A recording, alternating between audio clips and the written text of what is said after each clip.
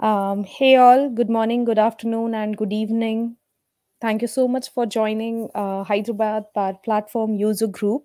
This is our August meetup, and we are so happy to have you here with us today.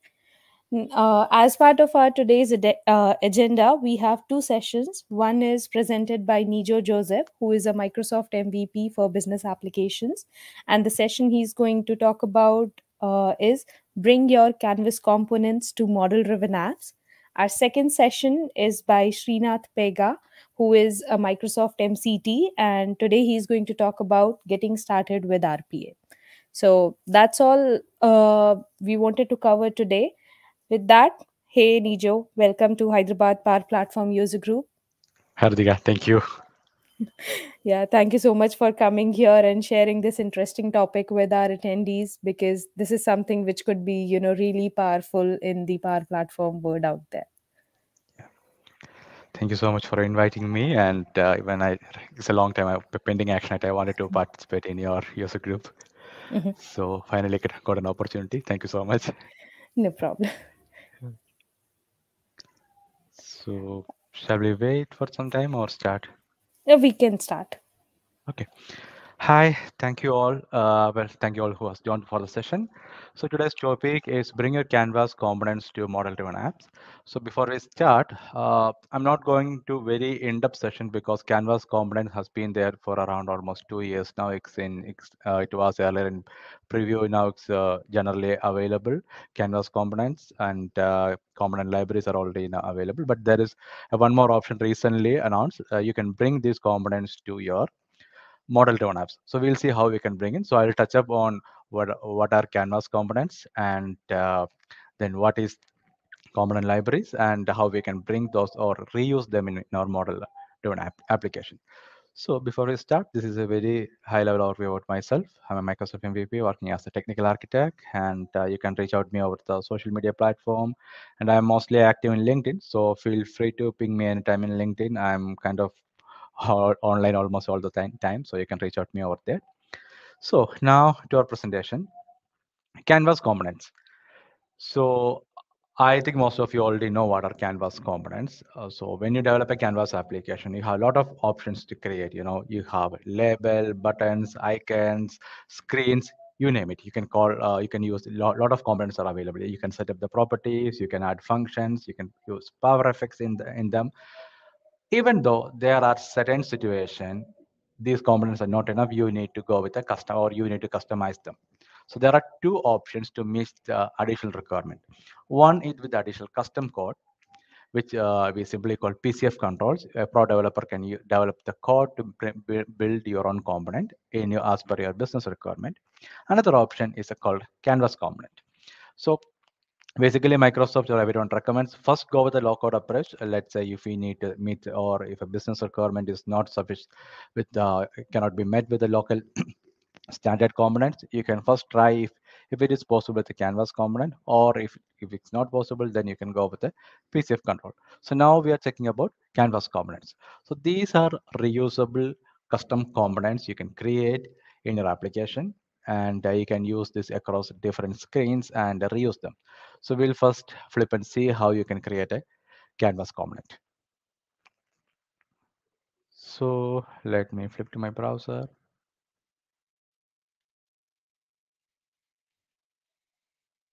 So here we are at the studio. So I have a solution here and I'm gonna create a symbol canvas application. So the demo, the, this item component I'm gonna show is exactly from the Microsoft documentation Excel. I'll share the link Excel. So if you need any more details or if you need to repeat yourself or see the video again from the official site Excel, you can uh, refer to the link. I'll have another uh, set of additional custom components as well. I'll show them during the demo, but uh, for for time being, time with the interest of time as well, I'll be taking a sim- very simple component. So let's create a new application. I'm getting a new application, a Canvas application, tablet, Rama 4, create. So one of the common scenario we see this is not the ideal this is an use case but there are many advanced use cases but very simple use case i have a, a component app uh, custom canvas app with multiple screens i'm adding one more this is screen one and adding one more screen screen two so we'll go with the header component so normally whenever we create an application we'll have a header so what we do is that we add a label, we add the uh, details over here, the header text, uh, label text, the field color, all the properties. And for the second screen, we can simply copy the component and paste to second screen. And if there are n number of screens, you can copy to the n number of screens. But that is an overhead. You, if you need to make some changes, some uh, element changes, you need to go again each screen by screen and modify. That is an maintenance overhead. So here comes the very basic, very fundamental application of Canvas components or custom components. What you can do is that you can create a custom component and you can use it over and over in the screen, uh, in different screens, and you can set up properties so that uh, like you use a standard control. So we come here, we'll create a new component from here. So I'm creating a new component over here. So to the, our new component, I will add a label now. Before that first step, I'll rename my component to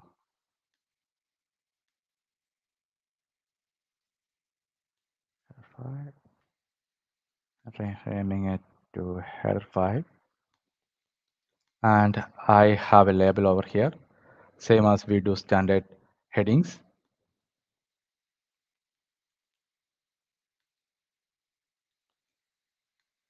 Just press it over here. So I have a label now. Now so coming back to the component. So I don't need the full screen so I'm just reducing the height to 80 this is I'm setting the height of my com, uh, my custom component now the next thing we can have custom properties if you look into any out of the box component for example take this label itself you have text these all are the properties for the com uh, for the control you added. Same way you, you are creating custom control, custom low code control. We uh, control's name is header file. So this header can we can create custom properties. So right now I'm adding a property. First thing I need is the header text so that I can uh, like you set the test for a label. You can set the test for the component. I mean the header. So I'm putting header text. And there are two properties, property type, input or output. Input, which means we are giving an input and output property, we can treat this uh, use, use as an output. Uh, in advanced cases, this prop, uh, the control can do certain calculations or operations, or if they want to display out or pull up some data. So you can use output property. Right now, we are giving the header text. So I'm keeping as input and data type is text. So I created one. Then for a control, again, I, I want to add another control for the fill color. So I'm adding one more thing.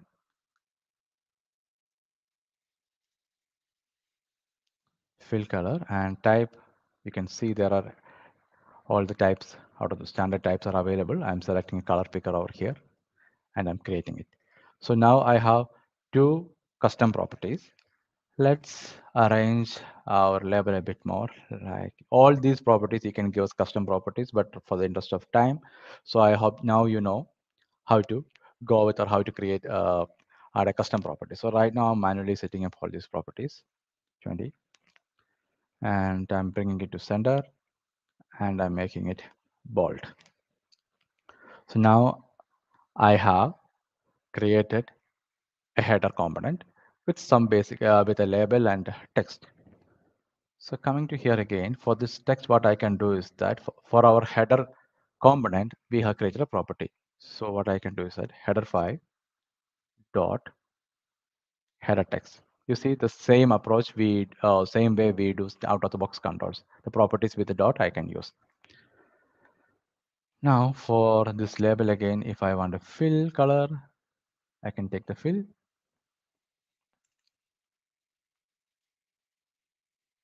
So I'm setting the fill also.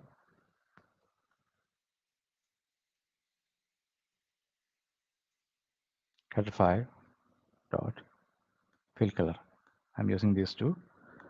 Then for the text, we change the text color to white. This also we can set as a out uh, custom control property. So I'm making it okay. So now we have a simple custom control ready. So what all another thing what we can do is we can set default values for the properties we created.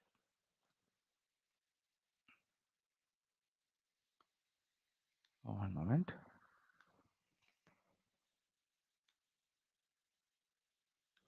So these are the two controls uh, properties I had uh, defined and uh, here I need to save it first.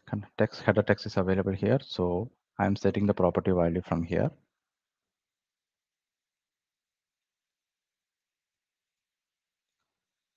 You can see it over here. So right, right now I'm changing directly. So same way you can drag this to any screens and directly set up the properties. We'll see that in a moment. So fill color also I'm giving another value.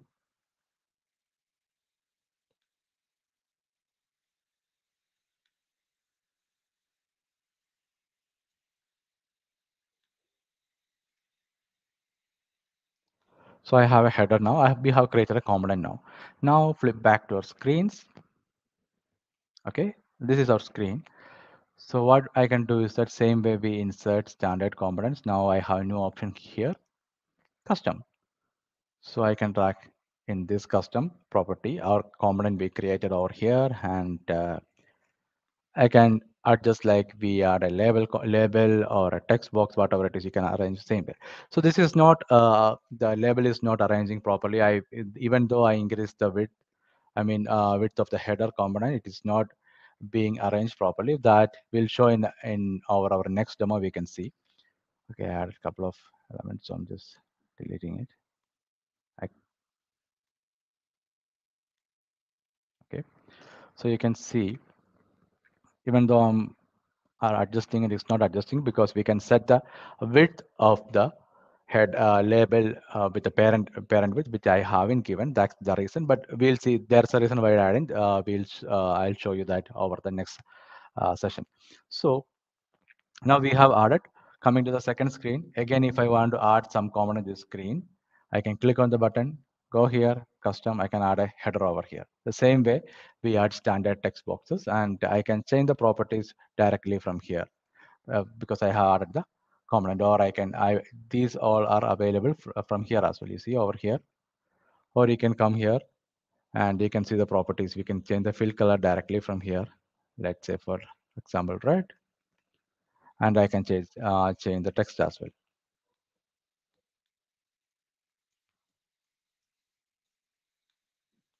So it is immediately taking effect. And uh, you know the advantage is that you know mostly in most cases uh, let's say it's a bigger enterprise application enterprise you'll have to a specific theme to be followed and the font size everything needs to be followed. So you don't have to go to each screen and update it. You can have a custom control ready custom our canvas component ready and reuse them across your screens. Now another case. Now we created or modified or updated the component inside your Canvas application. What if you need to update this over multiple application? You are working for a bigger enterprise. They have five or six uh, application to be developed. And oh, since an enterprise, as I mentioned, they will have a standard uh, design or theming pattern, font sizes, font color, header colors, everything will be same. We'll be following the same theme. So it's, it's not pra practical to go for each, create a custom component for each, or again, that's an additional overhead. So there comes the application or application of component libraries. So let's flip to slide back. Component library will be a single source of truth for uh, your components. It is like a centralized managed repository. It will be easy for it will be easier for you to manage your custom components and uh, you can publish, you can change the updates. So these up updates will be published to your application as well. We'll show, we'll see that in a moment.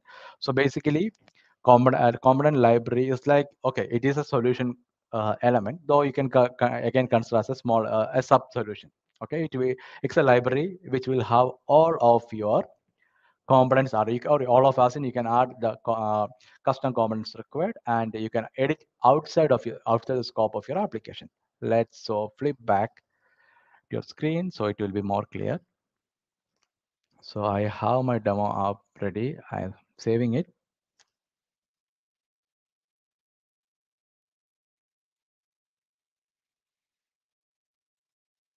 So let it save. It's taking some time.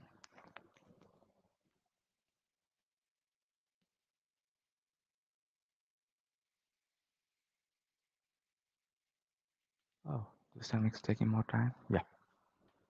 It's been saved and published. So we have our demo app already. We'll go back to solution.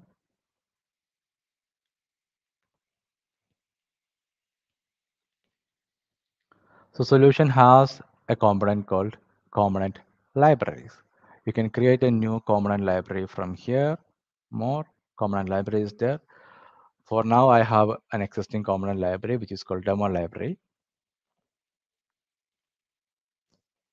So this is a collection of the components I have. I can have multiple libraries. Let's say, for example, for each purpose or each theme, I can have different libraries or each business area I can have or based on the requirement. As for Microsoft recommendation, it is best to have maximum of 20 components per library. So uh, that's the ideal count they are giving. I mean, the maximum upper limit they are giving. You can have more, but in terms of solution, uh, ease of solution migration, I mean, the deployments and everything, keep it to minimum, like five to between five to 20. That's the ideal range. So these are the library. I have different components. I have multiple header components. I have a menu component. These are the different components available in my library. So if you want to create a new component like we saw just before from the application, you can click over here. You can directly create a new component from here. Or you can import from the applications in your environment. For example, we just create a demo application. I can select it. I can import. So it has imported the header 5 over here.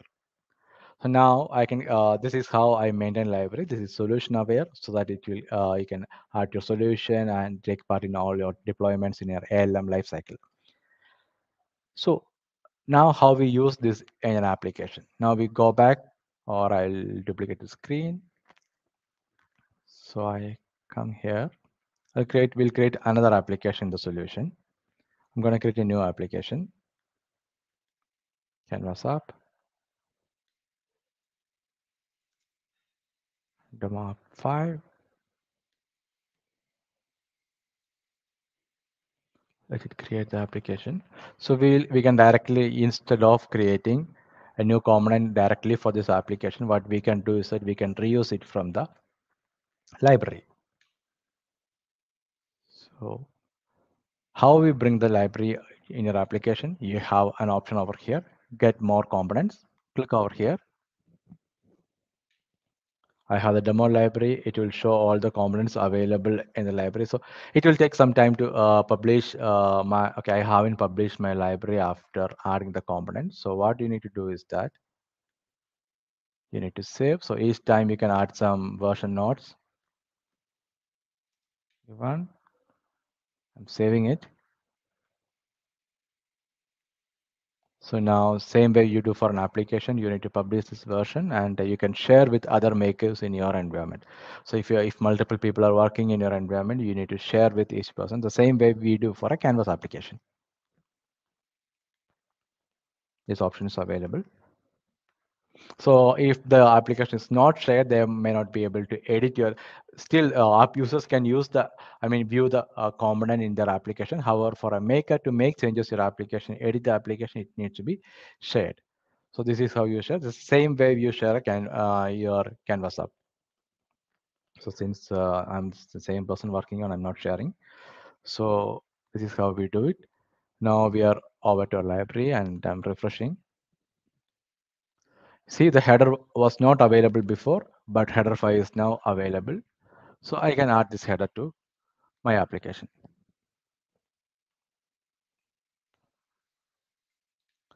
So this is available and uh,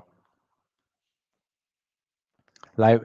You can see in the previous case when I created a custom component, the custom dropdown was available. But now since I added a library component, I have the library components tab available.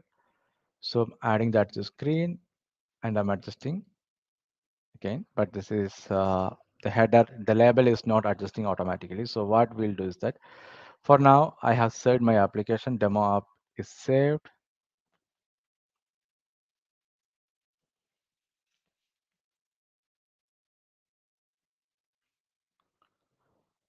and we'll publish so this is taking some more time anyway Okay, this is the first time it is automatically published. So I have my app with a library component there. Now I'll go back.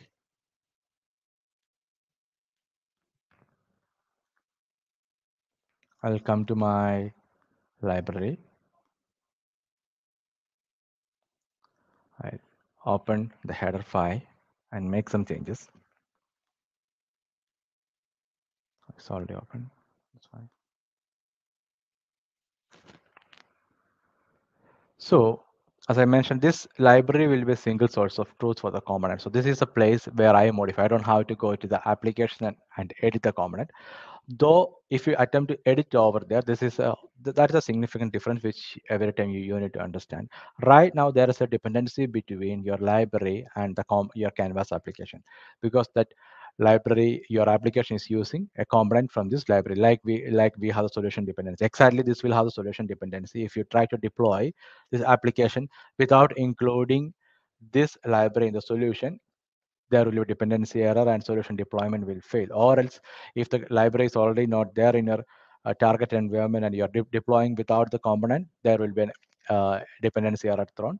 So there is a dependency. However, if you directly go, once you have added a library component to your application, directly editing, in, eh, try to edit the application, the component inside the application, this dependency will be cut off. That will be a separate application so that if any changes making in your library, that won't be reflected over your application. But in our case right now, we have added library component and coming back, we are coming back to the library and editing it directly from here. So I have the label. So what I do for the label is that for the width of the label, instead of hard-coded one, I'll do a parent dot width so that it will be adjusted with the width of the parent header component. So I have saved it. Now I'm publishing it.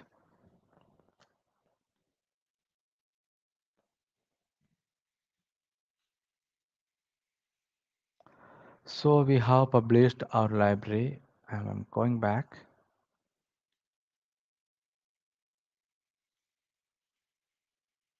So for the make is coming to the application or our uh, first demo of 5, I'm going to edit it. So I had added a component and I came back to the library. I modified the component which I added to my library. So now I, as a maker, I'm coming to or again trying to edit the application. So there are two options. See, since I made an update, it is showing a library update available. So sometimes, you know, it may, this publish may take some time or back and it is taking time. It may not uh, show here. What you can do is that you can come here and, uh, you know, for the components, you can uh, search for updates as well. So right now, what I'm doing out here is that, you know, I'm directly reviewing it. I can change this demo library has been updated. I can update it. So in the backend, it is taking. So you see now the label automatically taking the width of the parent header component I added. You can see it over here. Or another option, as I mentioned on the insert command, you take insert, click over here, check for update. Since we already had an update, it won't uh, show over here. There are no component libraries to be updated. So this is how you bring this, uh, you, you, you utilize your application, uh, your library components in your application. So now we, we have seen two things about Canvas application. You, you, can create a custom component and you can use a library to uh, as a source of single source of truth for your components. Now coming to our head main topic, how we will reuse them in your model driven app. This uh, seems very nice. You can reuse many places. Let's say you're working on a bigger projects, you have created a component for your Canvas application, application and you are using it everywhere. But now you want to create, uh, you're thinking it is good if I can reuse this in my model driven apps application. This is a recent change. These the two topics which we uh, just before was already uh, around for almost uh, I think two years, but this this is a re recent update how you can uh, use you bring this to your canvas app is via custom pages custom pages is also there for around uh, one i think it was released in 20 uh, 21 uh, wave 2 update so now it has already been there more than a year custom pages it is generally available but uh, still uh, experience updates are going on so how we can utilize them. Just a brief about custom uh, pages. It's a new page experience released uh, about around one year back, and the synchronous page load. That is one of the main advantage from my point of view. You know, if you go with a, let's say you need some custom uh, cu- custom page in your model-driven application, you go with the embedded Canvas application. There is a delay in the in case of you know page load. You know, the uh, frame uh, your model-driven screen will load. Then there's a slight uh, dependency or delay between your canvas and uh, embedded canvas app and your page. Or if you go with HTML web resource, it's not synchronous. Your HTML out of the box or your form will load, then only your uh, HTML component will load. But this is synchronous load and document.ready is in par with the same uh, header DOM. And this is recommended over HTML pages or embedded canvas application. And this is also so solution aware. This, these are the main advantages Microsoft always recommends if you need to have a custom screen your model model driven application, go with a custom page first. And if there are some limitations, if you cannot go with that thing only, then think about embedding a model uh, canvas application or with a uh, custom HTML page. So now let's flip back to Screen Studio again. Going back. So I'm just uh, touching all these points on a very high level because these elements are there been for around more than one year. So Canvas components, libraries, and custom pages. So let's go to our model driven application. I'm editing a model driven application.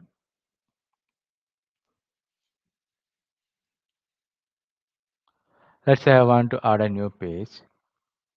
This is my model driven application. I'm adding a new page. I have an option called custom. You can, or you can go with the uh, application Excel. It will show what kind of application, whether it's a app or a custom page you need to create. So right now I'm adding directly from the app model driven app editor. So I have selected new and I'm giving new. Okay. It components.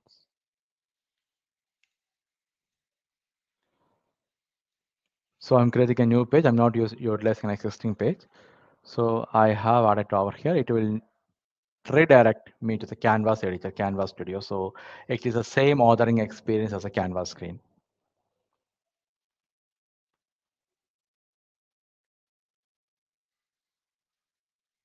So let it load. The editing and everything is exactly similar to you use a canvas application or instead of a custom page you can simply call it as a canvas page itself because it's almost same. So i have one screen over here you see it's almost same there is no difference. But there are some limitation uh, in terms of the controls you can use you can navigate to the non-limitation page. There are certain uh, non-limit already limitations are there but still uh, it serves the purpose for almost all, all the standard scenarios so I have some, settings. I'm just upcoming features.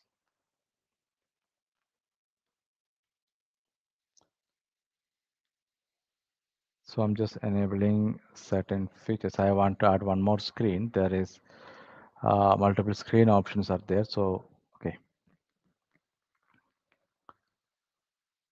Classic controls, I have enabled them.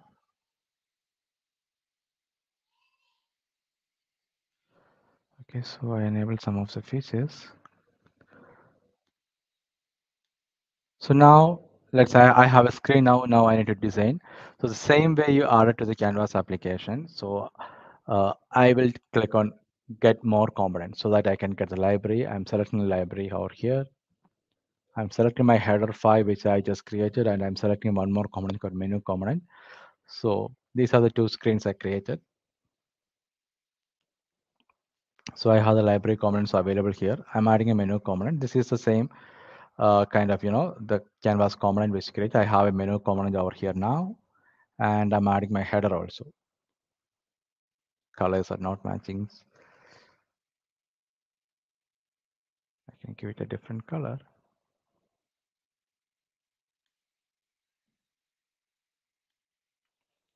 Okay, so you can see in the custom page, I have brought up my two components and maybe for this thing, I can have another button if I want. Okay.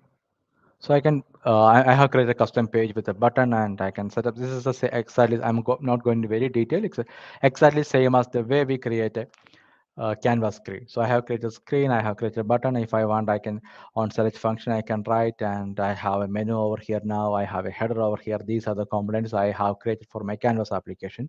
So I can reuse them in my model driven application as well. So I have created it. I'm saving it. Okay, I already have it. Okay, I'm public. I'm gonna publish it. So it is being published. Let it publish. X still publishing.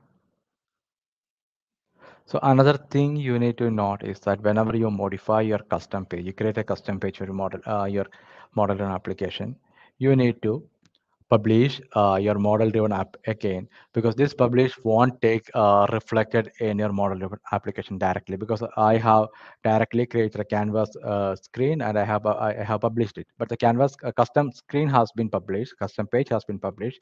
However your application has not yet been published so you have to go to your model driven application so you can see the notification. This is the first time this will be shown. Okay i'm saving and publishing it. But for the second time let's say you directly went your went your solution and you modified your custom page but if the model driven application is not published this change won't be reflected in your model driven application. It will be ta taking the latest or last published uh, state uh, state when the uh, state of the can uh, custom page when your model driven application was published. So i'm publishing this one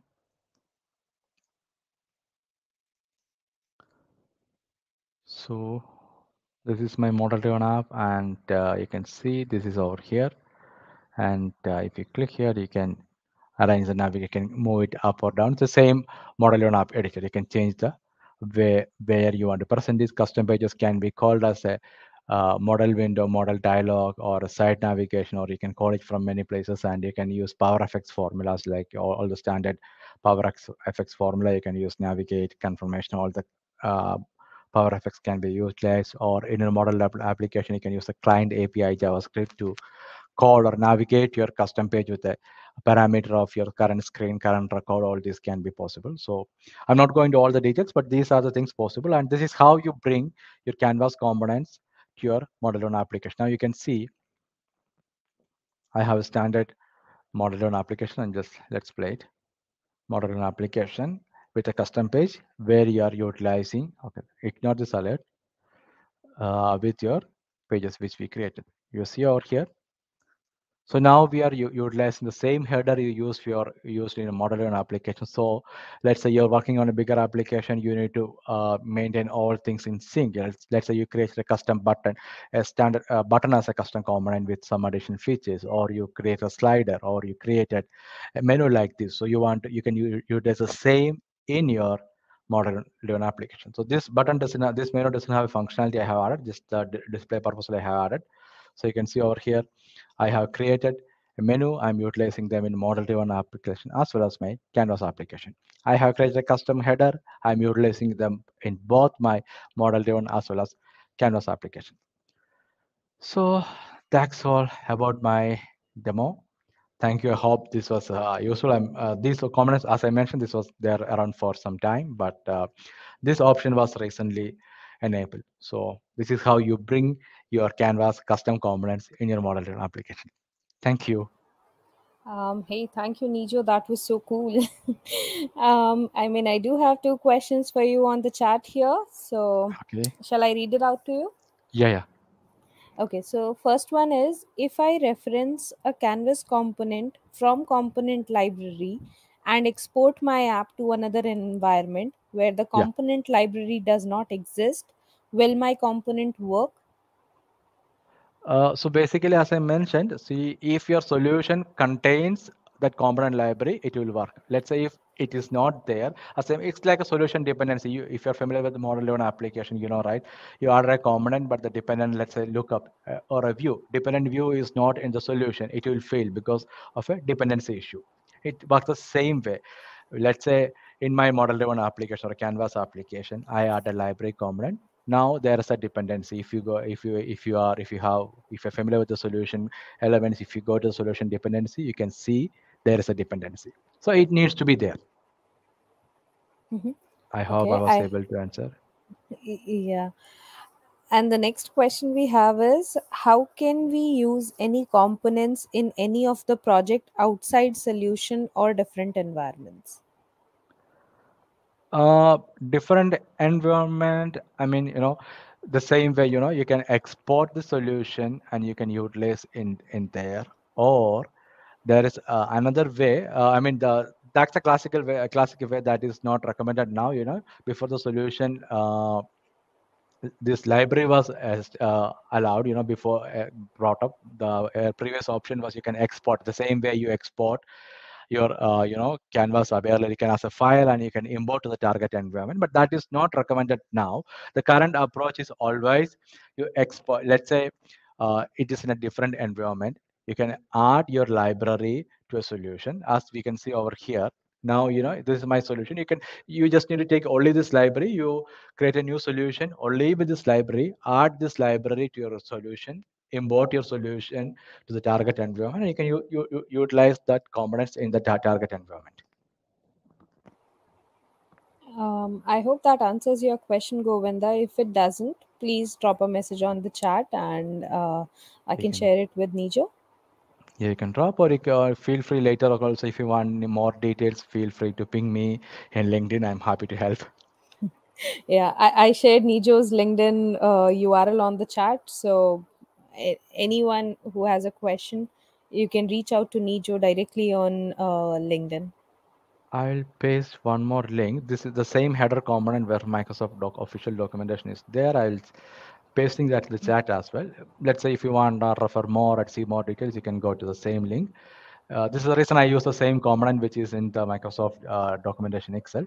But the menu component is slightly different. Uh, still, uh, there's a sample menu component also in the same page, but that this this is slightly different than the one I showed. But you can uh, tweak it. Like uh, the fun, base is the same component in the Microsoft document, but I try to add some colors and you know the different icons and different elements to that thing. But uh, this, this, uh, in, in in fundamental, the principle is same. So you can refer to that as well. Okay, so looks like those were all the questions we had on the chat, Nijo. But thank you so much for joining us today and you know presenting this cool new feature with uh, the Hyderabad Power Platform user group. So thank you so much for that. Thank you, thank you, Ritika. Thank you, team, for inviting me. And uh, yeah, like Um, okay, so that was Nijo, guys.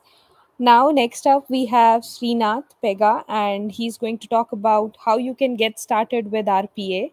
So, hey, Srinath, can you hear me okay? Yeah, I can I can hear you. Can you can you hear me? Yes, perfectly Yeah. fine. Yeah. Okay, so if you want to go ahead and share your screen, we can get started.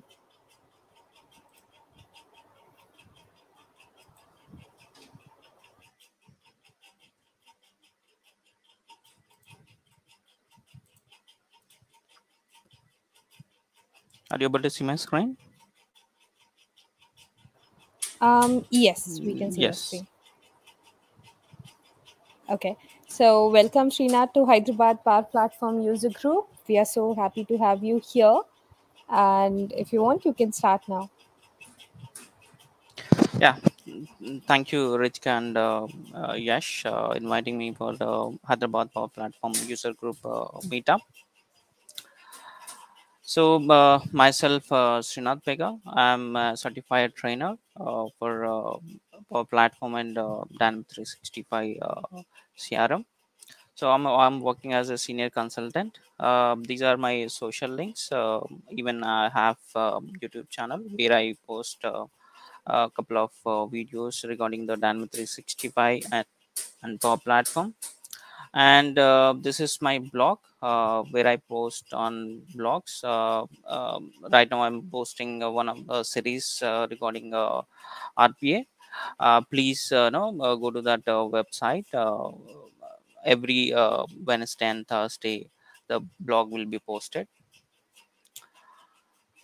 And moving on to um the session agenda. Um, this is you know session is for people who wanted to start with the RPA or uh, confusing with you know how to start, where to start, and what are the you know components. Just basic introduction to the RPA to get started. Um, that's that's we are going to uh, you know demonstrate here so this is uh, agenda uh, just overview of uh, rpa and uh, prerequisites uh, to start the you know, rpa uh, installation of uh, you know power platform uh, desktop. Uh, so that is uh, right now it's a free for windows 11 but uh, uh, need windows 10 or prior version. We, we have to install it in a way. And we need to register the system to the power platform power, power automate for, for desktop. So that is also we're going to see it and also we need to add the extension to the browsers either edge or uh, uh, chrome. So that's we are going to say it. So uh, prerequisites uh, which we uh, mentioned um, uh, we should have uh, Dataverse uh, environment which enable the Dataverse uh, because it's part of the Dataverse and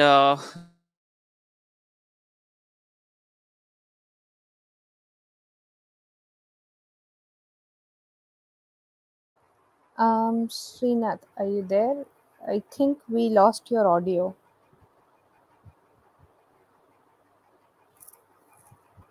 Hey, Srinath, can you hear me?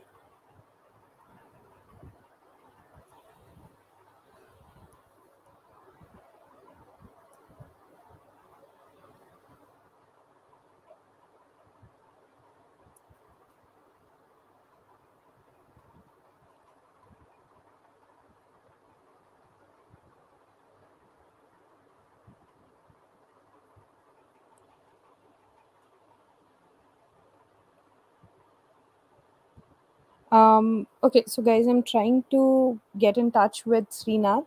Give me a few minutes and then I'll update. Thank you.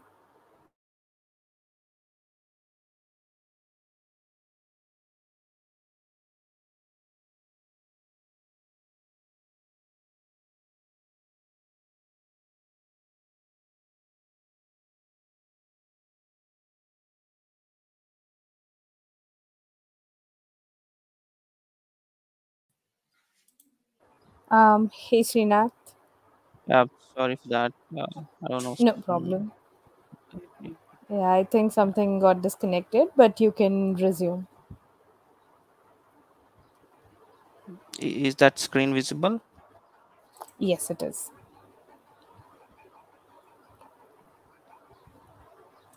one second Mhm.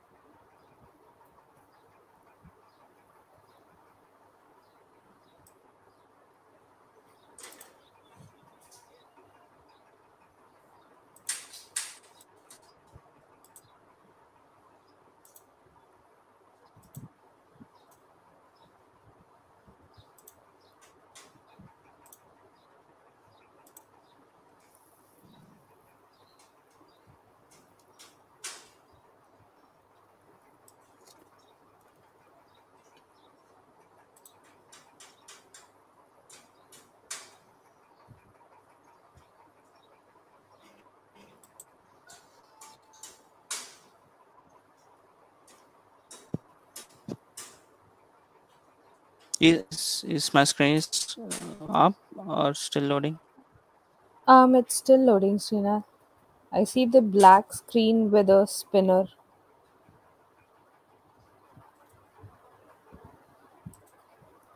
Um, do you want to maybe reshare your screen? Okay, it's visible now.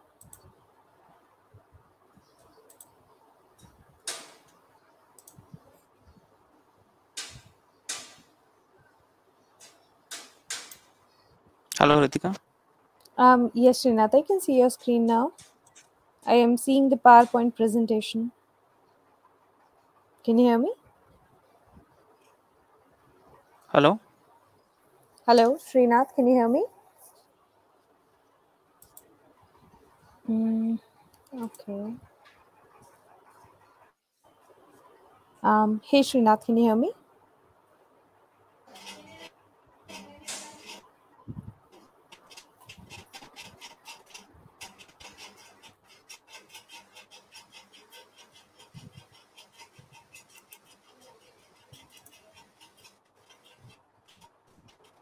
Um, just checking in. Hey, Srinath, am I audible?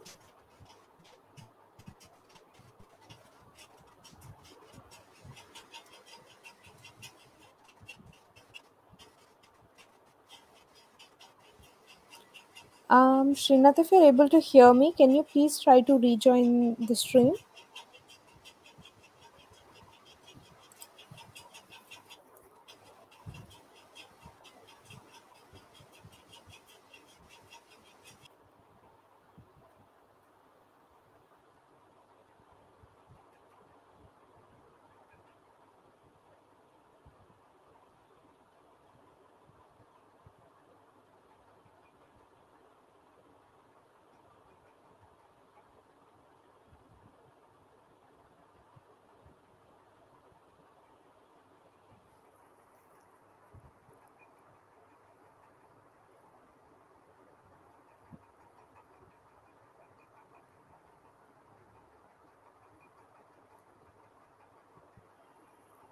Um, so I'm checking with Srinath what's happening. Looks like there is some connectivity issue.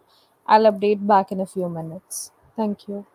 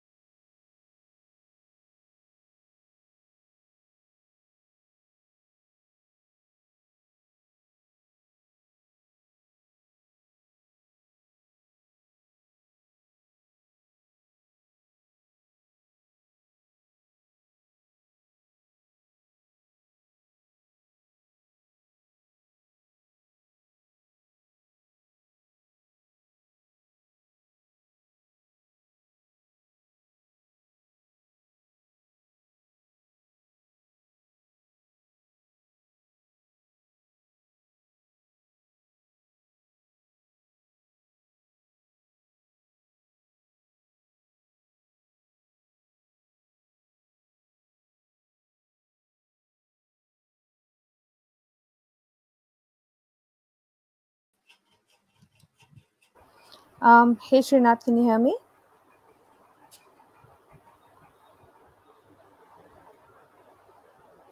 Um,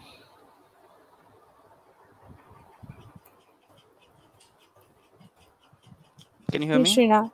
Yes, I can hear you. I, Can you hear me? I can't hear you. Okay. Do you want to go ahead and continue on your session?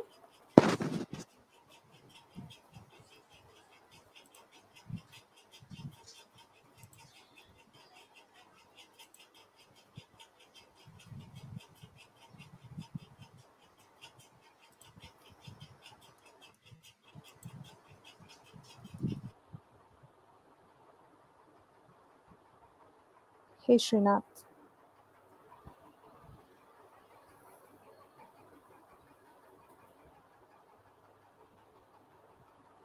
Um, Srinath, if you can hear me, do you want to continue? Because I was able to hear you.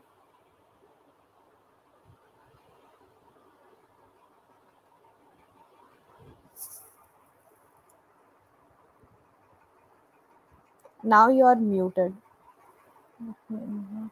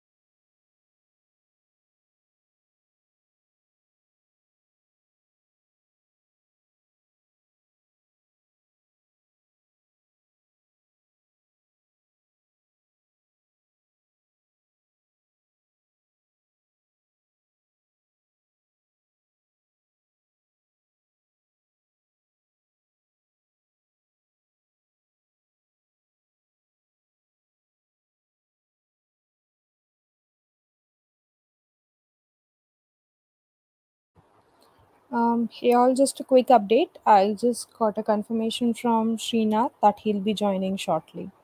So let's give him a few minutes.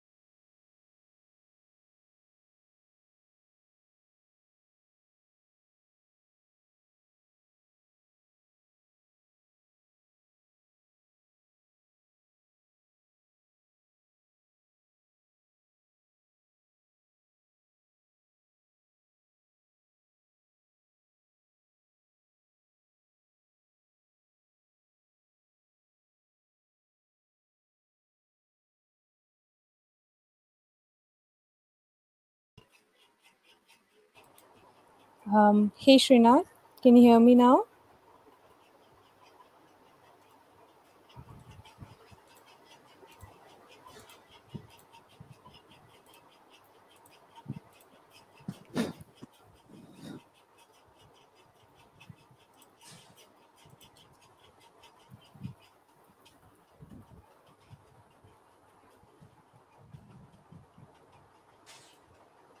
Um, Srinath, can you hear me now? Can you hear me? Yes, I can hear you fine.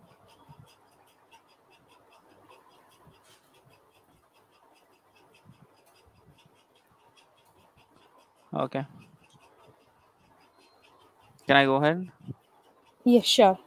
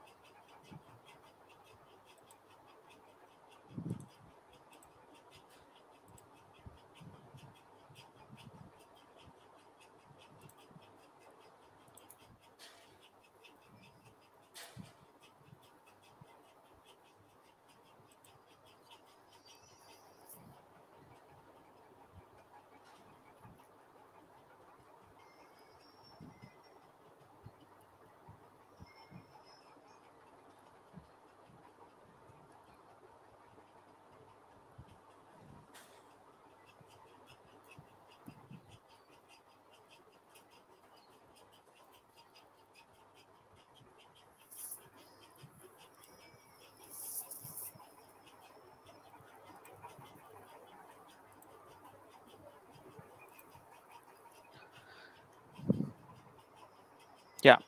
So Power Automate uh, desktop uh, will have uh, two things, which is uh, uh, the console and uh, Flow Designer. So what is console?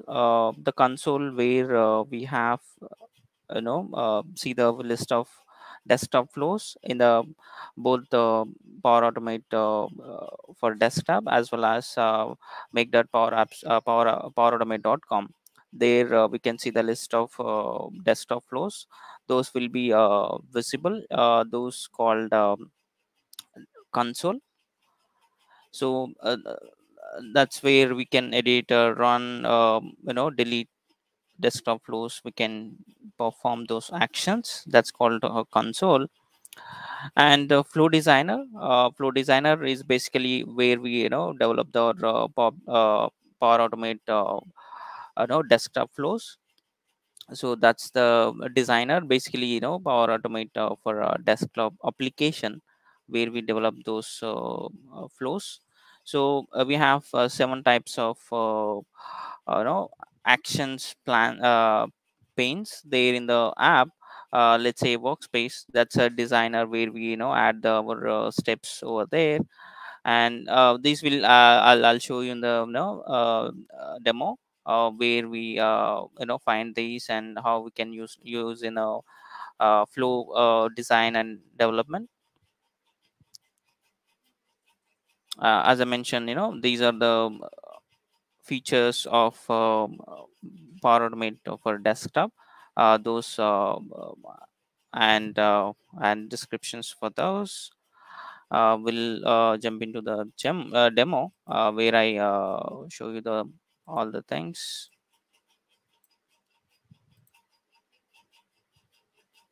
So I'm I'm on uh, Power Automate uh, environment. So this is my environment which I'm going to you know have my RPA flows. Click on my flows. There we can you know see our uh, desktop flows. Uh, in the desktop flow tabs right now i have a couple of yeah um, these are the flows which i have already created in my system. Um, so to get started uh, to create the flows uh, we should be install power automate for desktop app. For that uh, there is an uh, option to you know uh, download the exe file setup file um, to uh, install into the system to download that uh, just by clicking here uh, it will uh, download um, to the system. Yeah it's it's already start downloading. So once it's uh, download uh, we can you know uh, install into our system but there is a process to how to install this application. Since this application already installed into my system some of the steps i'll, I'll show you but um, yeah let it download.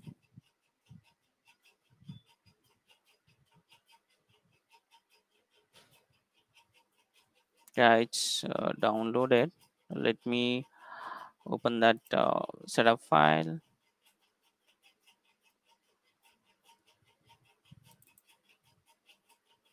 yeah. It's uh,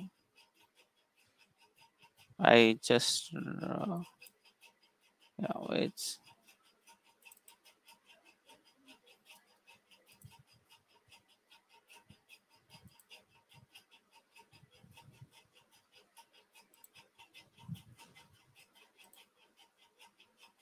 one second yeah. I, am I'm, I'm just running the uh, exe uh, one more time. Uh, but it's uh, all throwing an error like uh, uh, already installed in progress.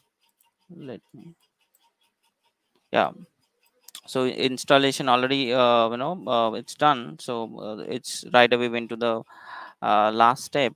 But in, in the installation process there is a last step we'll get this so by by we, we need to uh, enable this uh, extension uh, to the browsers uh, both the edge and uh, chrome. Uh, in the installation process this is the last step. By clicking this google chrome it will give the browser extension. We need to enable the power automate extension to the browser. So this is the extension manage extensions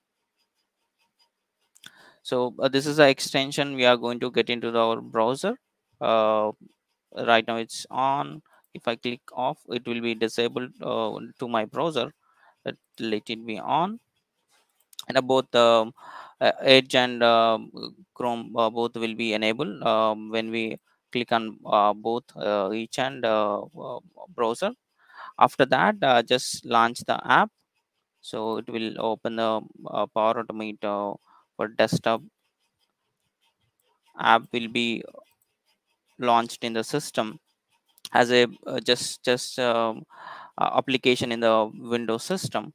So this is how looks like uh, in the um, uh, system. Uh, there is no apps uh, flows will be nothing uh, it's going to be there. Just it, it the ui will be like this and you can change the environments uh, here uh, after signing into the app. So it will uh, gives the, all the environments uh, uh, whatever the you know id which you use um, uh, belonging to that tenant or wha- whatever the environments is there the list will come here and get premium because it's not licensed. So so it's it's premium showing that. After that uh, we should uh, register uh, this uh, power automate for desktop to our uh, uh, system. For that just click on settings. It will give you the settings window. Uh,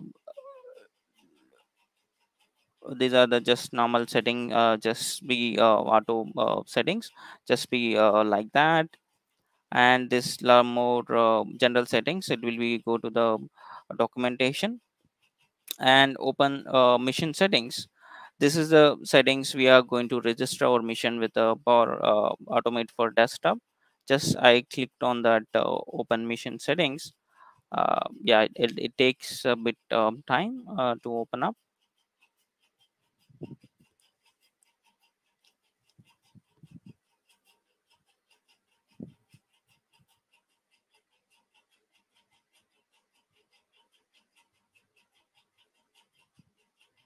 yeah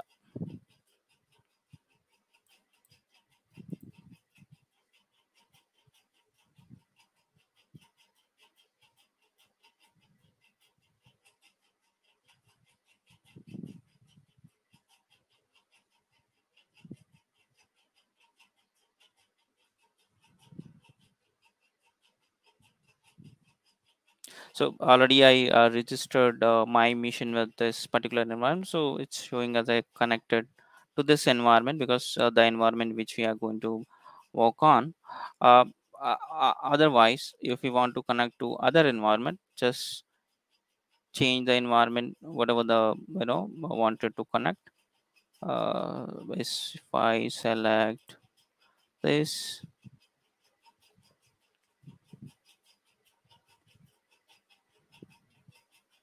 so it, it takes time um, to you know um, uh, register the mission uh, to this particular data environment.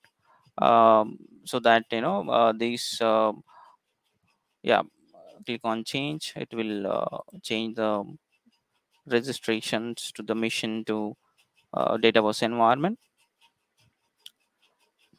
so uh, by changing this so now sales uh, trial environment is going to be registered with this mission and Dataverse uh, environment uh, with this app. So that we can create our uh, data, uh, you know desktop flows with that environment.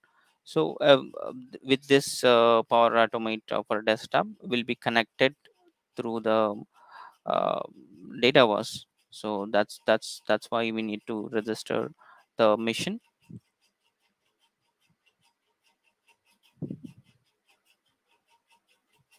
yeah now it's uh, registered uh, this mission to this environment so that it will be connected. And uh, if any mission groups so that uh, we can add the mission groups uh, something kind of uh, vms and troubleshoot if you have, if you have any uh, issues with the uh, system so we can um, get the machine logs and uh, change the you know like uh, any connectivity problems uh, so that we can get the uh, issues uh, here. So let me close this since uh, uh, environment let me go back to the our environment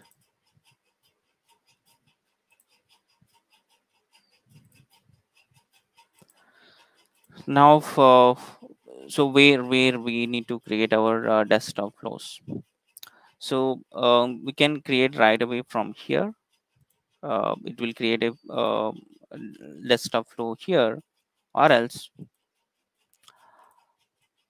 So since we have uh, power automate portal um, on the browser uh, we also have um, uh, this option to create a desktop flows from the uh, maker portal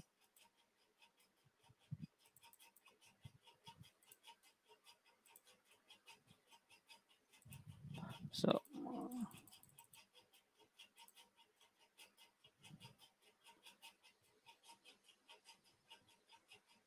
so let it reload. If I click here to new uh, flow, it, it will ask you the name. The moment I will uh, given a name and click on create, it will create a flow and open the designer of uh, Power Automate for desktop. But in in case of uh, maker portal, it will launch the same window. After uh, let me create this.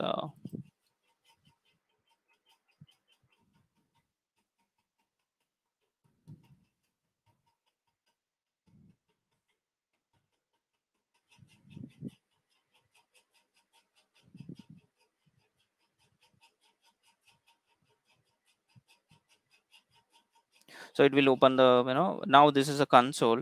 Now after uh, click on create it will open up the uh, designer uh, for power automate uh, desktop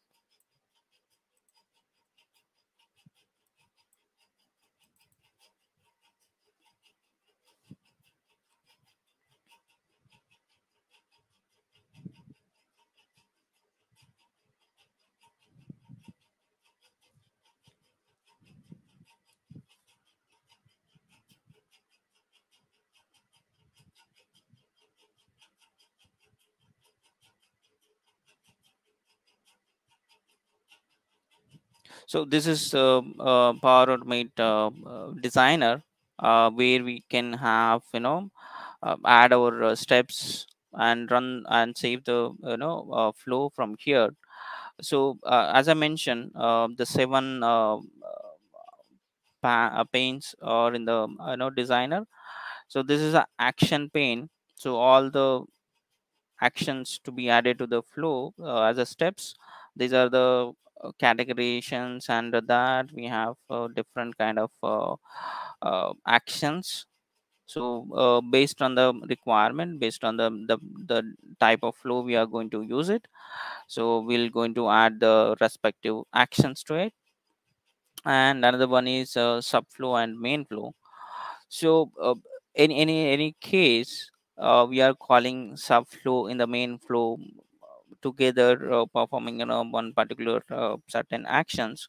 So we create an another flow make you know you consuming the main flow so that's that's called uh, subflows. And uh, uh, this this one option is uh, record. This is going to be re- record our screen steps which is ui flows. And this is a variables uh, variable uh, flow variables uh, which we are going to use in any flow uh, all the flows will be uh, come here and uh, input variable and output variables. If we uh, create any such variables to be used so those comes here. And as i mentioned uh, these are the ui elements. When we record in a screen uh, it will create in a uh, elements uh, which is ui elements uh, those will be added here to be uh, used in a uh, desktop flows uh, this one uh, images uh, as same um, as ui flows any images so though from that images we'll going to create an ui element to be used in a flow so this is the uh, no um, um, way we created a, uh rpa from the um, power automate uh, for desktop. So let me close this.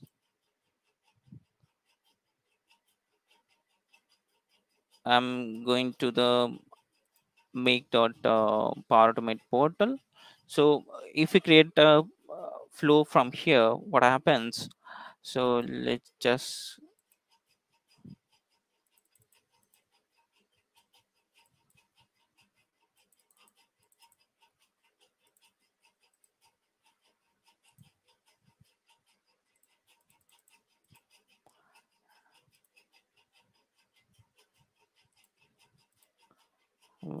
yeah it it got stuck. Okay. So uh, the moment uh, when we uh, create a flow from there so it will ask you the name but it, it launched from um, the screen this uh, screen itself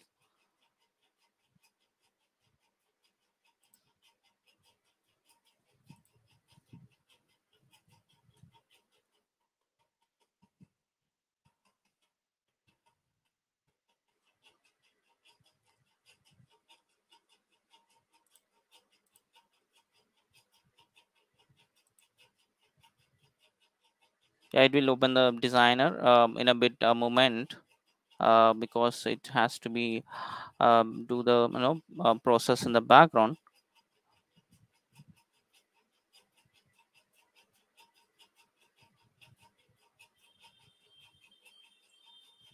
Yeah it's it's still uh, coming up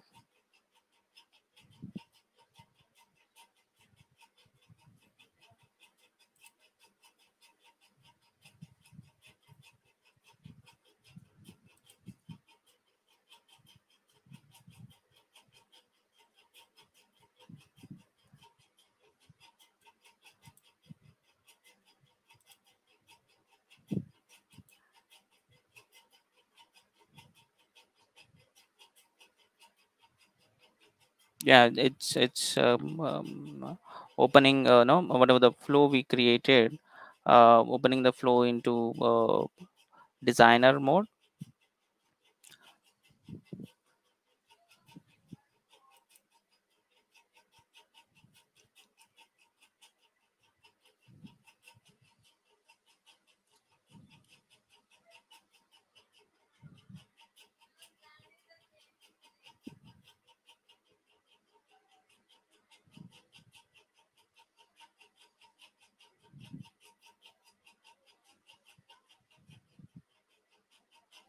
yeah so um, the moment um, now um, we didn't save anything uh, just we given a name and uh, uh, click on created uh, create uh, it open up uh, you know create designer mode. So uh, the moment uh, we save this flow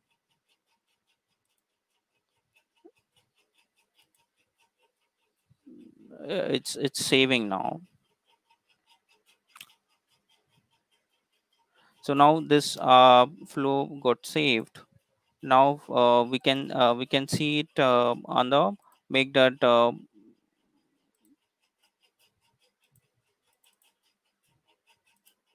here we can see the same flow here uh, which we created which is name of uh, RPA yeah.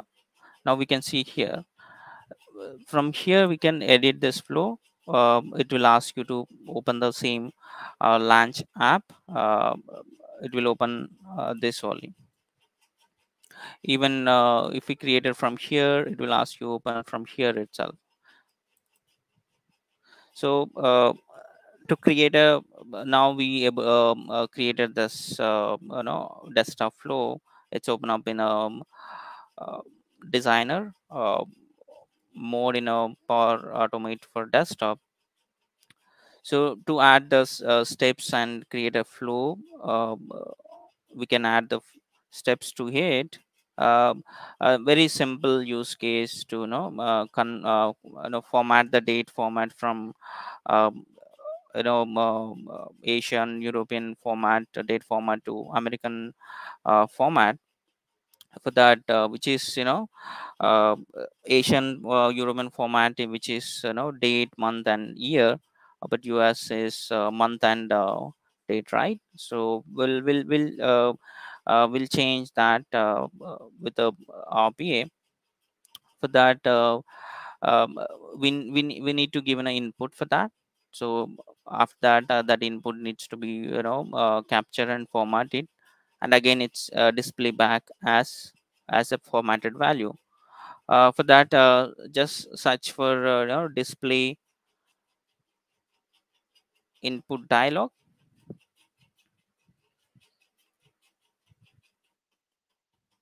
Uh, by uh, double click uh, clicking it will be uh, added here. Or else we can drag and drop to the workspace it will be added as well as uh, uh, it will ask you the uh, know whatever the values to be filled. So it's asking the input dialog title which is basically the name. Please enter the date.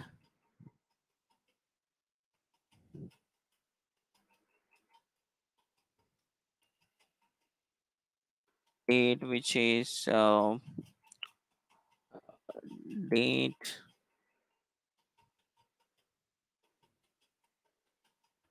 mm and uh, year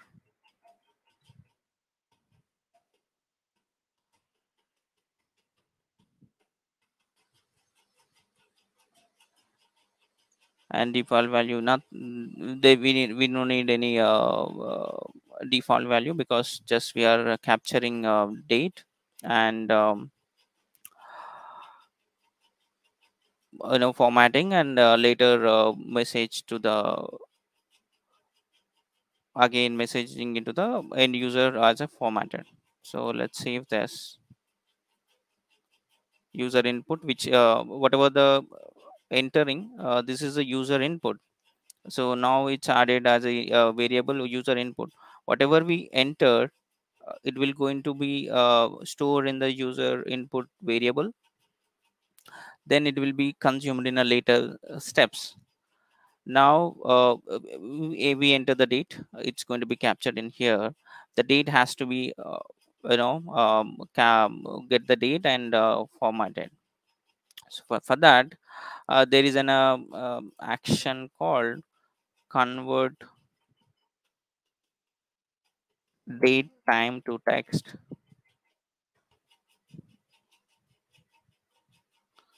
date time uh, yeah here in a text um, there is uh, called convert date time to text. So let's double click. It will going to add here and ask the uh, you know uh, input values. So date time to convert which is uh, what is the input for this? So as i mentioned um, the, here we are going to have the date which we enter as a uh, europe format or asian. Just yeah. So format to be used uh, just custom. So whatever the format we wanted to be uh, uh, have.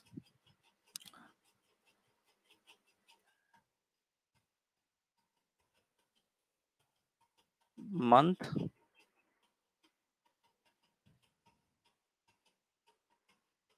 Date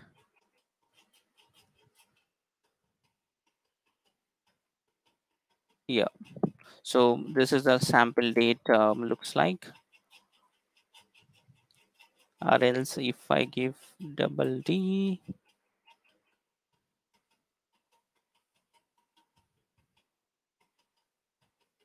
On save so uh, now the formatted date is going to stored in this formatted date time um, variable so now uh, we have to show the this message uh, in the message box so that uh, we we can have we have a display message so that um, we display a formatted value as a message. Display message. Just double click over here. So message box uh, title?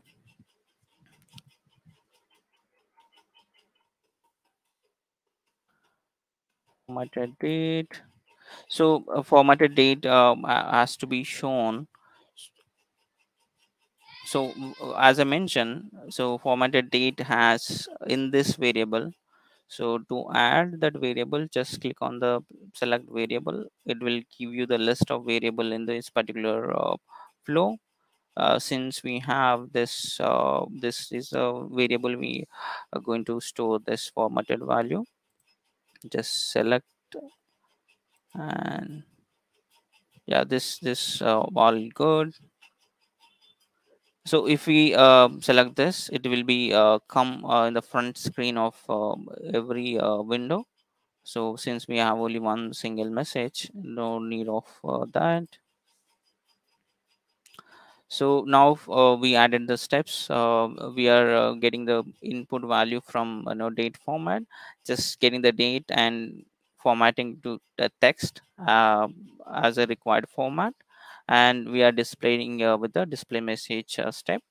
So to run run this step just click on run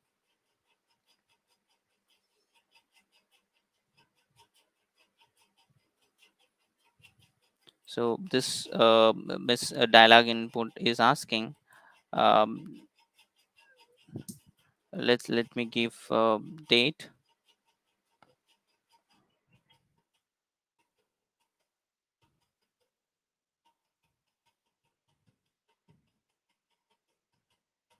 So now uh, it got uh, no formatted uh, um, as uh, month and date. So uh, even it, it runs in a way if i give the month as uh, some sort of you know august name date is 20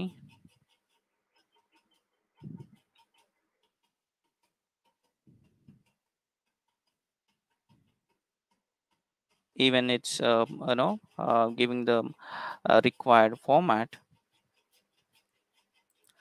So um, this is uh, how for, you know um, uh, this is a very basic um, uh, desktop flow.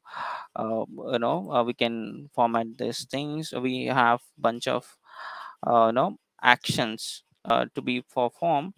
Um, any any any um, um, you know um, advanced uh, des- uh, desktop flow also will be you know um, uh, create like this uh, uh, taking action from here and uh, giving the required inputs and uh, from uh, variables. So it will be uh, execute in a, uh, the way in which we develop. So um, i have one flow got created. I'll, I'll show you what it does. So so this particular folder let's launch in power automate desktop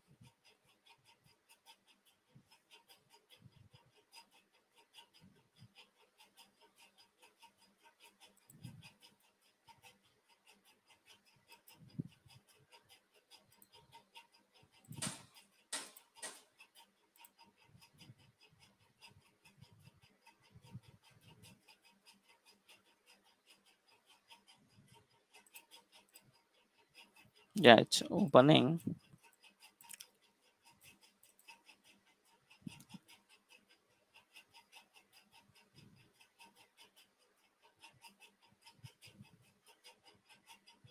So this this particular uh, you know um, uh, desktop flow is um, let me open up this. This uh, action called uh, gets special folder uh, it's going to be targeted the folder directory uh, which is a desktop entire desktop all the um, uh, desktop folders and everything.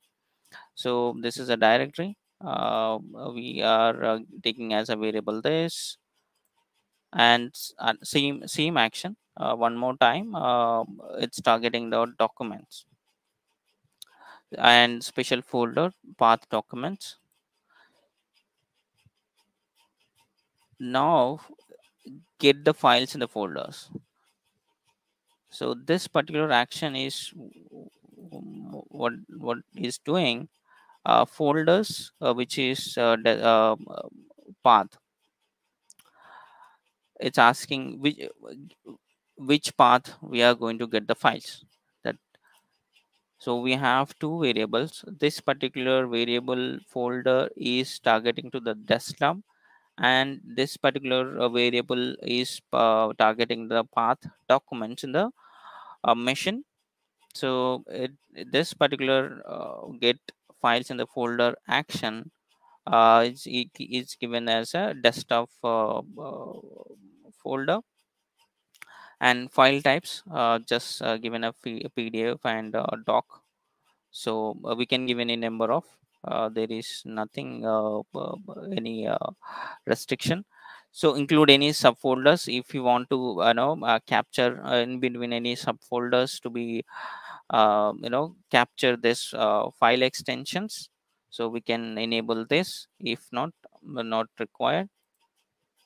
So there is uh, by those kind of filtering uh, is there so just cancel. So uh, we got all the files. Uh, getting the files from this particular this particular folder matching the file extensions pdf and doc and store them into the files. Files like uh, uh, variable.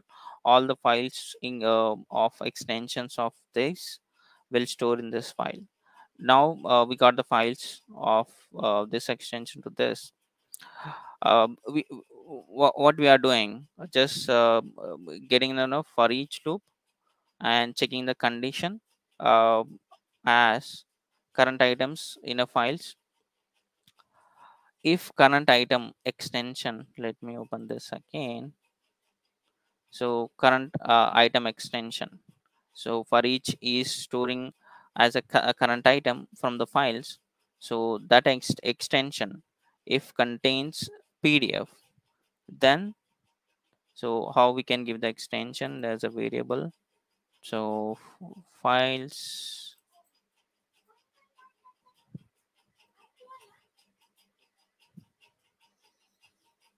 one second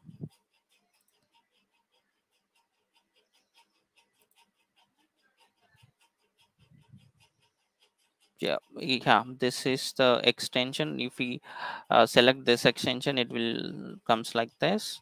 So uh, current item dot extension. Case sensitive then uh, move the files to uh, let me open back this.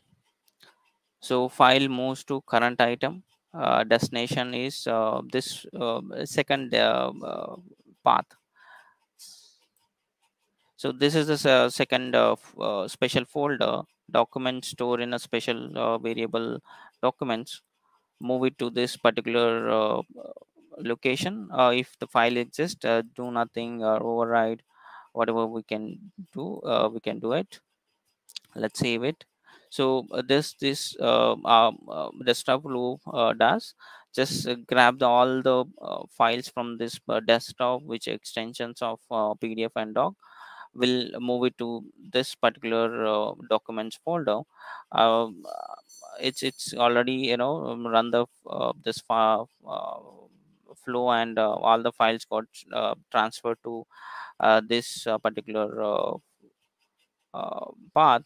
So what will i do? Just just change this i'll show you the path and i'll rerun this flow back so now all the uh, these uh, documents and these are the files. So the pdf files. So just uh, change this uh, uh, path names. So let's uh, back to uh, desktop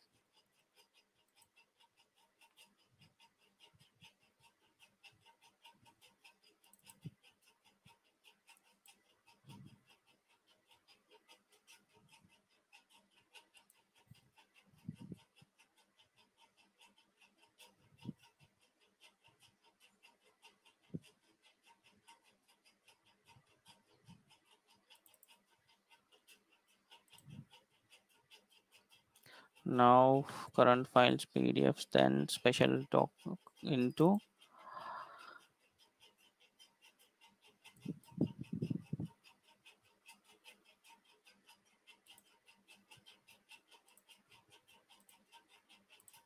just i'm uh, pulling into uh, you know uh, document folders into desktop again. Let's click on save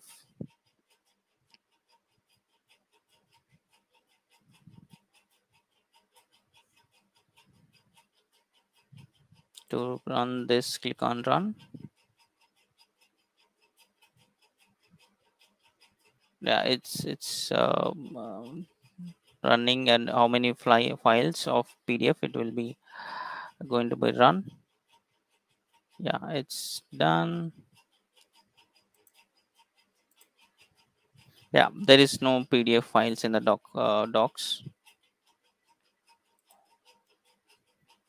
So desktop, all the PDFs uh, came into the desktop back again. So this this is how you know this is one of you know um, uh, classic example. You know uh, moving you know this kind of uh, repetitive works or any uh, kind of automation works. So uh, we can use this uh, RPA. Yeah, uh, that's all uh, from my end, uh, Ritika. Um, okay, thank you, Srinath, for uh, you know sharing all this information. I I'm sure that this is helpful for anyone who is starting their journey with uh, you know RPA using Power Platform. So thank you so much for that. And I do have one question on the chat, which is, can I run various runs parallelly using desktop flows? Yeah, it, it yeah it it can be done. Okay. So at this point, I don't see any other. Okay, no problem. Please go ahead. I think you were saying something. Yeah, we we can run, but you know, um, it uh, as I mentioned, license should be required, and uh, uh, there is uh, inbound, outbound, um, you know, features will be there.